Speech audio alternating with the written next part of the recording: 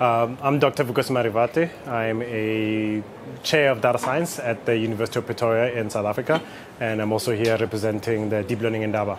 And uh, my work mostly is involved in machine learning and natural language processing, as well as how we use data science for society. Uh, sure. Um, for me, I see AI as being a tool that we can use in society, so uh, not restricting it for development.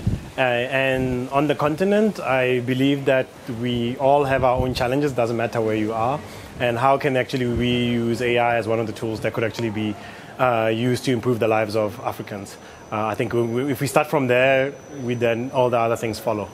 Um, uh, as Africa, I think we're in a interesting position in that if when we're trying to look at AI and how it can actually be used, one of the things that becomes important is also demystifying it for the public and decision makers. So I think Blue Sky is um, how do we get uh, AI to be interpretable and transparent?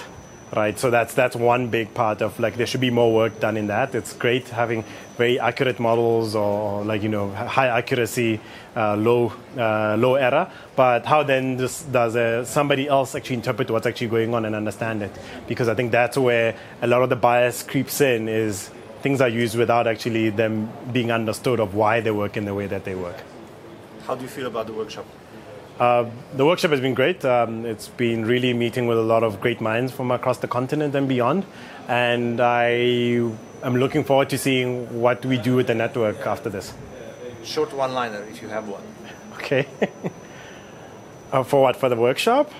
Just a slogan. Parting shot. A parting shot.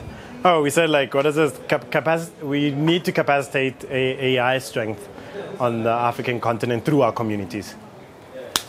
Nice. Yeah. Thank you. Yeah. Good. Yeah.